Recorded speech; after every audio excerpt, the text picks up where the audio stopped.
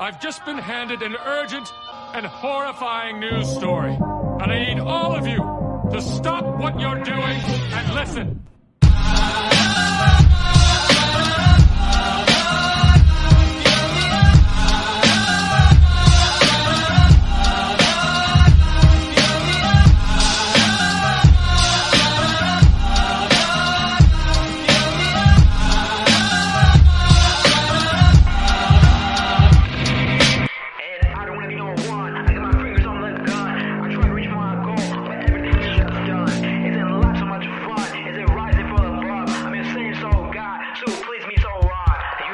understand. You're not my friend. You know that it'll never, will ever be friends. I try to the scene, above and I see nothing but the space.